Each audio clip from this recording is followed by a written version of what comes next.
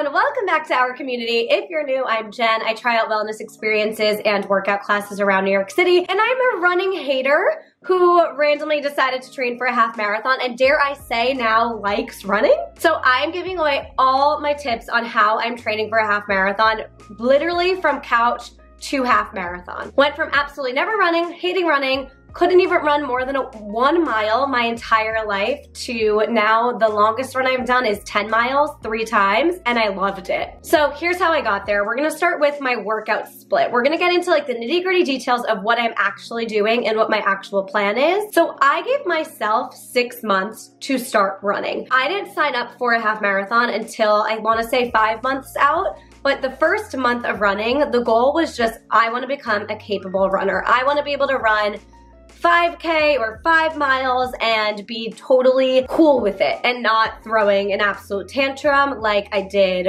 on my first six mile run with Ethan. I want a document to just have this on here. Okay.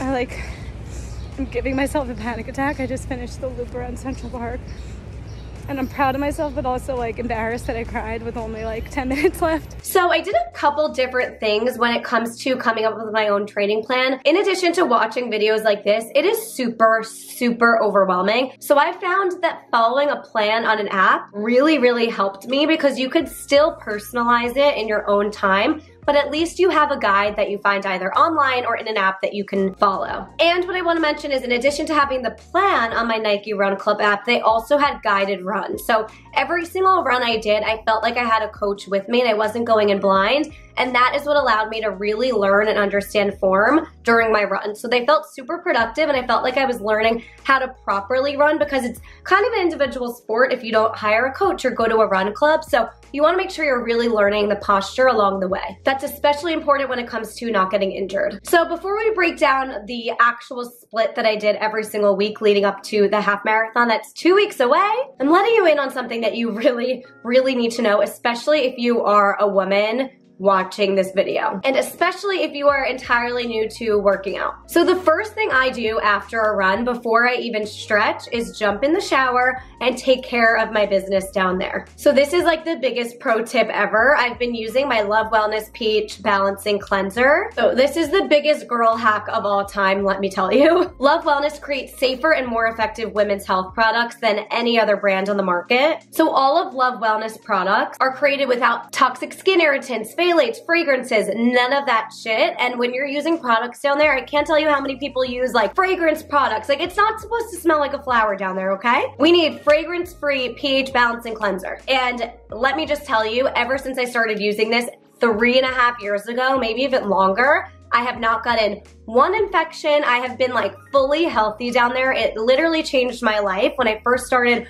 working out a ton, I was getting a bunch of infections and getting irritated and this saved my life. So I am so excited that they are sponsoring this portion of today's video. It's a fragrance-free gentle cleanser for your vulva. It's an OBGYN approved cleanser that doesn't disrupt vaginal flora or pH levels. It won't irritate sensitive skin. Their cleanser matches acidic vaginal pH levels and it's for external use only. So you can get 15% off with code JEN15 on lovewellness.com. I will put the link and everything in the description below. But seriously, trust me on this, guys, on your running journey. I'm gonna help a girl out, let me just say that. Okay, so let's get into the training split. We did two days of strength training, four days of running, and one rest day every single week. Did I hit that perfectly every single week? Absolutely not, but that was my plan. And I loved the structure around it. I think that's one of my favorite things about running, and I will do an entirely different video on everything you'll gain from your running journey, but I just loved this fitness structure, this routine that I had to follow to reach my goal. I think fitness can be so confusing.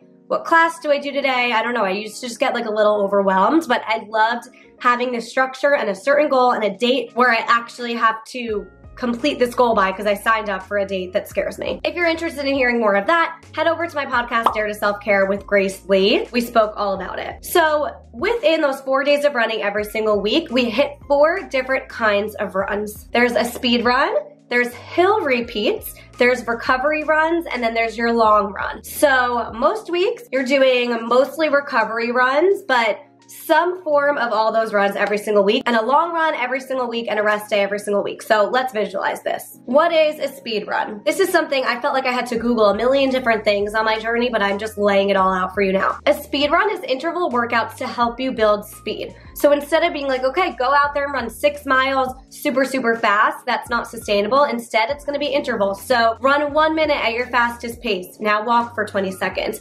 Run 30 seconds at your 5K speed and then walk for five minutes. Like whatever the intervals are, it's to get your body used to running faster, but in shorter, more realistic increments. And then you'll see it come into fruition in your longer runs as you do more of them. And as time goes on, your speed will get faster in general in all runs. So these speed runs are usually under 30 minutes because you're exerting so much speed and effort. And then there's hill repeats, which is gonna be more important if you're doing a course, which we can talk about later on, that's gonna be more of a hillier, like a more of a half marathon with more hills and that's not as flat. These are gonna be really important to get your body adjusted. So you're gonna run up a hill fast and then recover as you go down the hill. Over and over and over again, usually like 10 times I would say. So physically training on hills can build muscle strength and then hill sprints or hill repeats can really help improve your running form and technique, which translates into less energy expended on your longer runs. Recovery runs are essentially what you would think from the name of them. These are gonna be your easier runs where you you just run super light and don't worry about speed. So it's gonna be a very light and controlled efforts. I like to think of posture during these runs. Typically, you're gonna do these runs when your legs are super tired from the training that you've been doing. So if you follow a training plan,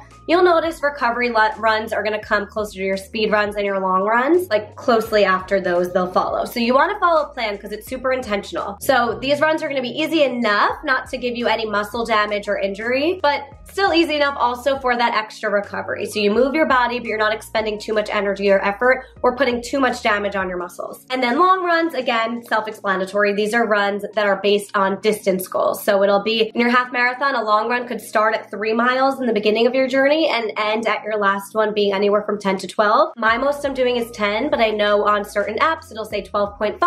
But I think it's generally understood that if you can run 10, you can run the 13.1, especially with that extra adrenaline and excitement you're gonna get from race day. I was planning on doing 12.5, but I ended up getting sick. I'm a little stuffly, snuff, sniffly right now, so I ended up getting sick and missing that long, long run of 12 miles, and now it's too close to the race, so I'm capping it at 10, but I know I'll be okay. So that's another just way to look at it of like, you wanna make sure you're personalizing your runs. If you know that your body needs a break and you can't handle a speed run today, skip the speed run. You don't have to kill yourself following every single plan to a T, but it's really important to follow one because the people who make these plans know more than we do and they're intentional. Okay, so now that we have an understanding of what all the different types of runs are, let's take a look at my specific training schedule. So I mentioned Grace Lee before she was on my podcast. She really helped me tailor my schedule more to my fitness goals. So my goal for the marathon, it wasn't a pace. If yours is a pace, you might have more speed runs. It just might look a little different.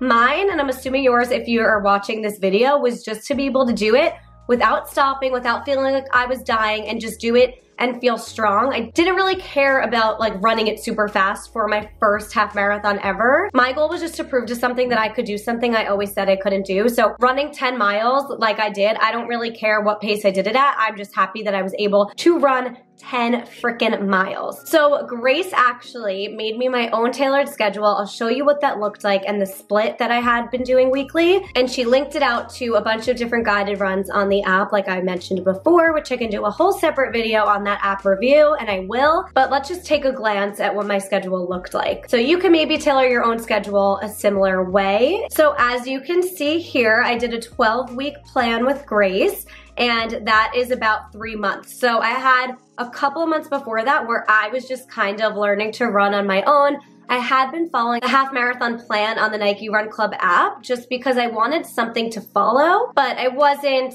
you know, doing a really strategic split, if that makes sense. So I had 12 weeks where I was really determined to hit all of these runs unless I was injured or feeling sick or something like that, of course. But as you can see here, week one was my recovery three miles a speed workout, and then strength training or a class, few recovery runs, long run rest. And then let's take a look at like week eight, recovery run on Monday, speed run on Tuesday, strength training Wednesday, recovery. My recovery runs start getting longer here. You can see eight mile recovery run on week eight, class on Friday, long run on Saturday, rest on Sunday. Always did my rest days on Sunday and my Saturdays long run days because you don't want to you want to have plenty of time for your long run days. You don't want to like squeeze it in before work. So a lot of people do that Saturday run day, Sunday rest day. And then just taking a look at the last few weeks that I'm in right now leading up to half marathon training. Unfortunately, you see peak week. I was sick, so I totally missed that train. I did not do any of this peak week stuff that I was supposed to do, unfortunately. But let's just take a look at what that looks like. And that's like the last week where you're going hard before you taper out. Tapering is what you do a few weeks leading up to race week. And the purpose of that is you wanna run on really fresh legs. You don't wanna be fatigued or sore, so you kind of taper off. So peak week started with a 40 minute recovery run, hill repeats, a class, seven mile recovery run, a class, and then that 12 mile run, like I said, I missed. So then this is where we are. You see the last few weeks increase protein and don't do strength training. And I would just say the reason for that is, like I said, you don't want to be sore or, or have muscle fatigue. You want to feel really fresh. So it's really just a bunch of recovery runs and one long run for the next couple of weeks. And that's really it. So that's my plan. And then just a few tips when it comes to creating your split and your workout plan when it comes to your half marathon training plan plan as a running newbie. Few tips that helped me. Number one, have someone take a look at the course you're gonna be running to look at the elevation map. Literally look up, I looked up Philadelphia half marathon elevation map.